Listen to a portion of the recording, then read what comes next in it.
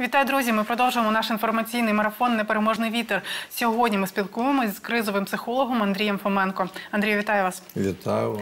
Коли ми з вами домовлялись про інтерв'ю, я розпочала розмову з того, що ви нещодавно у нас були у студії, і потім ви сказали нещодавно. Тобто, це було на початку війни. Так. Ніби війна війна триває лише два місяці, але це був такі дуже насичені два місяці. Такий тривалий час. Скажіть, будь ласка, що з нами усіма, якщо можна так сказати, коротко відбулося за цей час? Дуже багато речей насправді відбулося і в цей короткий проміжок. І тому те, що ми е, можемо вже констатувати, перше це шок і неприйняття реальності, яка пов'язана з початком війни. Це всіх стосувалося, навіть ті, хто там здогадувалося, що це має бути. А потім а, почалася відповідна якась така внутрішня да, відповідь на це все, і агресія. Бо ми бачили агресивні прояви в мережі, да, і ми, і ми продовжуємо їх бачити, ці агресивні прояви в мережі. Потім, потім наступає період торгів, да, коли от зараз якраз ми входимо всією країною в стан торгу. Торгу, чи все було зроблено правильно, чи, а, чи хто ви- винний в тому, що це відбувається саме так, чи міг би я вчинити якось інакше. Да? Шок проходить, агресивна різка реакція відсувається трошки, але вона така має такий, знаєте, мобільний е, характер, тобто то в один бік, то в інший. А, а зараз час торгів почався. Да? Ми включилися. Знаєте, це, це насправді все етапи втрати. втрати. Ми всі втратили мир, відчуття миру і е, впевненості в майбутньому. І тому ця втрата стосується всіх. Якщо говорити про те, що, що ми, е, коли кажуть, що е, не всі втратили, втратили всі. Тобто ми засинали 23-го в одній, в одній країні, в одному житті, прокинулися в іншому. І треба це розуміти чітко, усвідомлювати, що навіть якщо ми відмовляємося говорити про те, що ми щось втратили, насправді це так і є. А що нас чекає далі? Який етап? А виснаження після торгів Тобто це почнеться ще не воно? виснаження. Ні, те, що я помічаю, я, я моніторю періодично, коли в мене є час, моніторю мережу, дивлюсь на те, а, що відбувається. У декотрих людей насправді процеси прийняття ситуації відбуваються швидше і вже лунають певні здорові думки щодо даної ситуації. Здорові думки це думки спрямовані не тільки на фактичне протистояння ворогу на фронті, це і питання тилу, це зміцнення, питання зміцнення тилу, це питання економічні, да? і, і, це, і це вірні постановки для даної ситуації. Да? Аби що не, не одержиться, ми маємо зберегти країну. Не, окре... не, не тільки на полі бою, а ще й зберегти країну в цілому і людей. Перш за все, країна це люди. І я, як психолог, маю про це да, говорити, тому що е, ми маємо зараз е, величезну кількість е, людей, які є біженцями на нашій території. Дехто з них є дійсно вже переселенцями. Дивіться, я розрізняю ці дві категорії. Тому що люди, які просто у нас зупиняються для того, щоб їхати далі, це ще біженці. Ті, хто вирішили лишитися у нас на нашій території в районах Кіровоградської області, це люди, які е, вже можна назвати їх переселенцями. І ті і інші мають певні клопоти, і ми їх маємо захищати.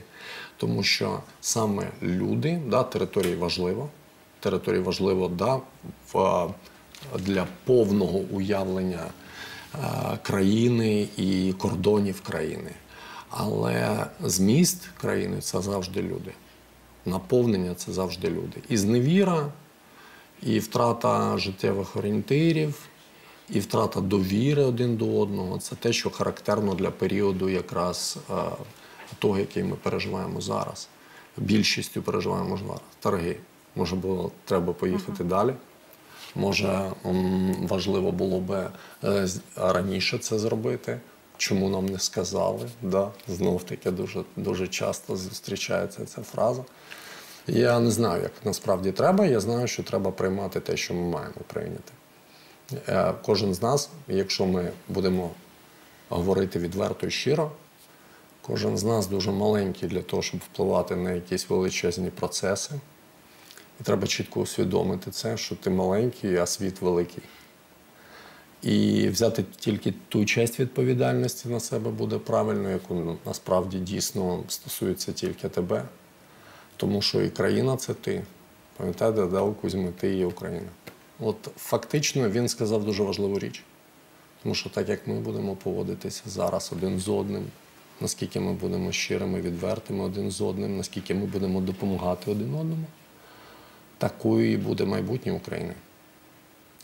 В іншому випадку, уявляєте, якщо не відбуватиметься всього, цього всього всередині, ми одержимо відповідне майбутнє. Як ми можемо в такому разі допомагати тим людям, які побачили на власні очі жахи війни, переселенці, про яких ви вже згадали?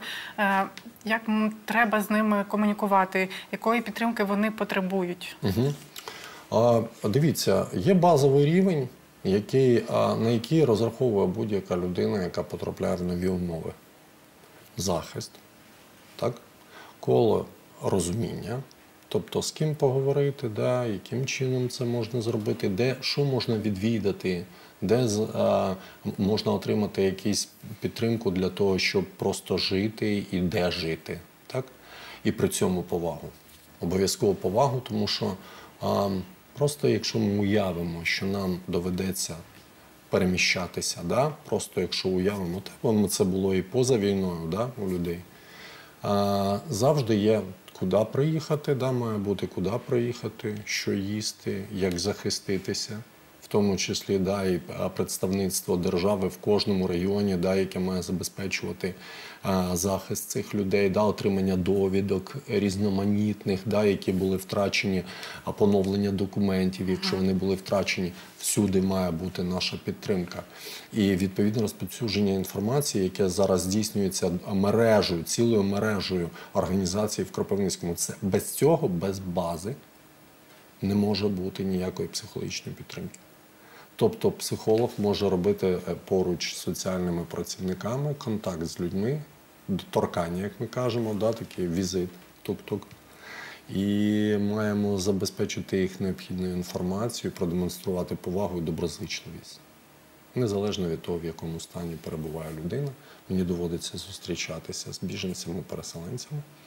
Я можу сказати абсолютно точно, що ці люди потребують просто до себе ставлення як будь-яка інша людина. Але вони вразливіші.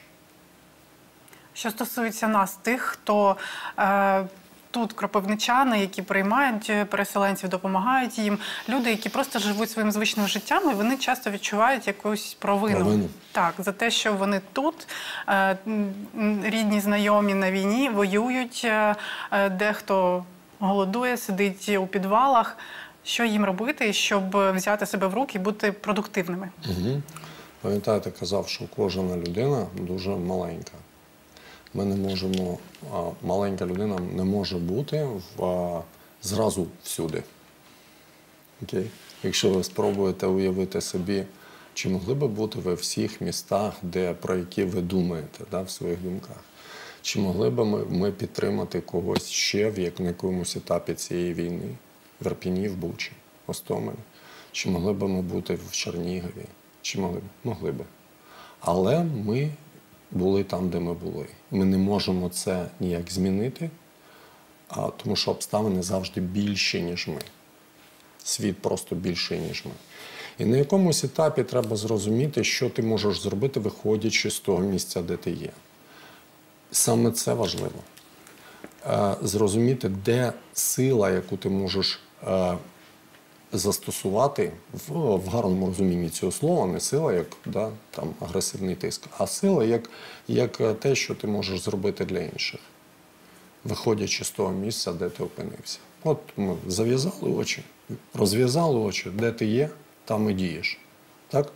Ми так діємо зазвичай. Але чомусь тут ми кажемо, там хлопці на війні, звісно, там зрозуміло, у них свої задачі стоять, де там своє керівництво і структуроване життя насправді.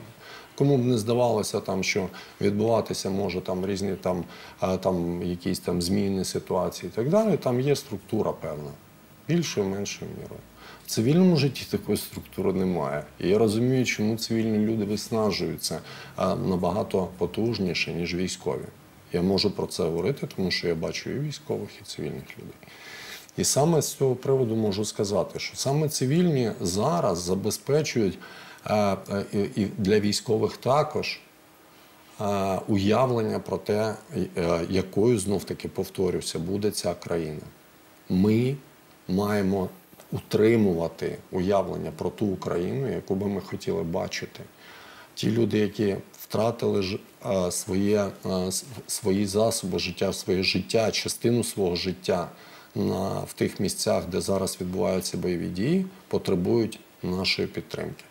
І вони зазвичай може, можуть по-різному на це реагувати, на наші прояви, на те, як вони опинилися в ситуації, де нічого не відбувається, і дехто собі дозволяє якісь там нібито зайві речі, але насправді життя триває.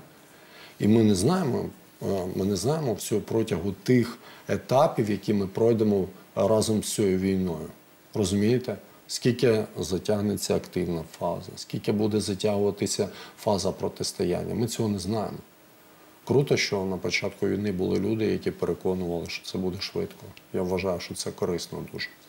Але зараз ми розуміємо, дивіться, я, я не знаю, я насправді не можу уявити, я там не є експертом в військових справах. Я точно знаю, що навіть відновлення, процес відновлення, він не буде таким. Він буде повільним. Повільним буде ж залежати від людей на місцях, буде залежати від нашої волі допомагати один одному. А що робити, е, якщо з відчуттям провини ми трішки розібрались, з чу- відчуттям ненависті, яке зараз є у багатьох людей, і мені здається, досить справедливе відчуття, але все одно воно таке дес- деструктивне. На певних етапах воно забезпечує нам захист. Дозволяйте собі ненавидіти, тому що це забезпечує захист. Ненависть відповідь на страх. Ми боїмося, ми отримуємо стрес, нас починає збуджувати ситуація, тому що і ми маємо знайти якийсь вихід. Один із них це один, один із вихід з такої ситуації це бігти, інший давати здачу. Оця нереалізована, ну нереалізоване у багатьох бажання дати здачу, вдарити. Воно забезпечується пошуком дуже часто винних, дуже часто серед своїх, тому що до ворога не дістатися. Ну, і тому люди переймаються з того приводу, що якщо вони бачать десь якісь е, відхилення від їх уявлення про те, що відбувається, вони починають демонструвати агресію в постах, в тому числі. Я дивлюсь, як ми е, повільно переходимо дуже часто. Нікому не хочу там закид якийсь зробити, але я дивлюсь, як ми там політологів, вірусологів, зараз військових експертів всі переходимо. Ну, є у нас треба така сви- звичка. Треба своїм займатися. Ви, ви добре будете а, ефективніше діяти для країни і для близьких, якщо ви будете займатися своєю справою, як ви, наприклад. Тобто, от, ви виконуєте її. Це чудово, тому що люди мають знати щось, мають отримувати інформацію, а мають отримувати її належним чином. Я би сказав, це і є безпека. Що можна порадити е, ну, усім українцям е, до моменту перемоги? Які звички можливо виробити, щоб себе відчувати більш-менш комфортно психологічно? Перш за все, моніторити свій стан. От е, у нас має з'явитися звичка моніторити свій стан. У нас раніше її не було, і тому дуже багато ну, е, ряд людей, небагато, ряд людей опинялися в стресових умовах е, на роботі, там в інших там ситуаціях життєвих, там, да, там в сфері стосунків з близькими людьми. На сьогоднішній день це має стати правилом для кожного. Бачите, є як є етапи прийняття ситуації, да, так і є е, відповідний стан організму.